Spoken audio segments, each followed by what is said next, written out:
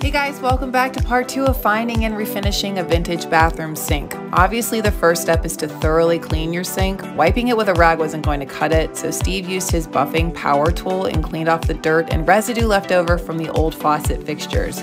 You need to make sure you get all that grime off and then give the sink a good scrubby dib dib. After a refreshing rinse, you have to let the sink dry completely, otherwise, the paint isn't going to adhere. Here's Steve churn in the sink paint Ekopel 2K for 10 minutes. You have to stir it for 10 minutes, then let it sit for 5, and then you're ready to pour. The best tip when using this paint is to let gravity do the work. Paint is quite sticky, so you want to pour it on and manipulate it lightly as it coats the sink. So here's Steve doing his tapping with the paint roller to move the paint around. And here's your finished product. It looks brand new, but it's better made than anything you could buy at the store today. So stay tuned for part three when we install this thing and you get to see the finished look.